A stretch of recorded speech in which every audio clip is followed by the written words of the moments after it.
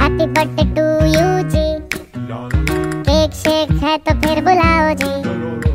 ऐसे ही तुम बुढ़े होते रहोगे, हमको उससे क्या मतलब बताओ जी